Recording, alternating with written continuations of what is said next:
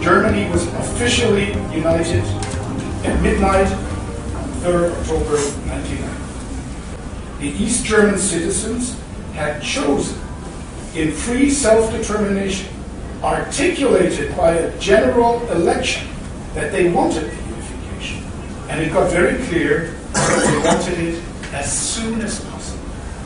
A big bunch of problems came up after the reunification had entered into force. Not only was the GDR bankrupt, the economy, the economy that was outdated and not competitive at all collapsed. The unemployment that derived from that created a serious problem and still is somewhat of a problem. The property rights of former proprietors of the nationalized economy had to be reinstalled. The transformation from a communist economical system into a market economy got very burdensome and also very expensive.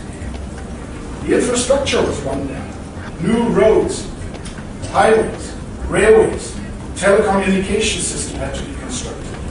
The agriculture that was a Soviet-type collective model created massive problems. To make a long story short, today, if you want to see modern infrastructure, go to East Germany.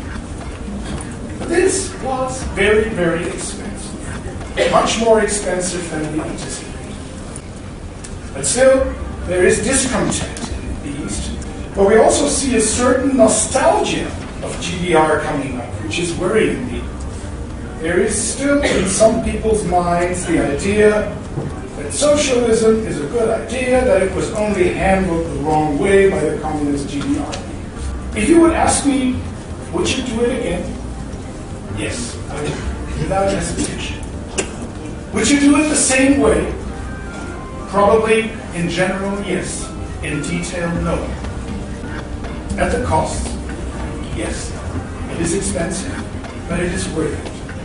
After unification, we were flooded with Korean delegations that wanted to share our experience.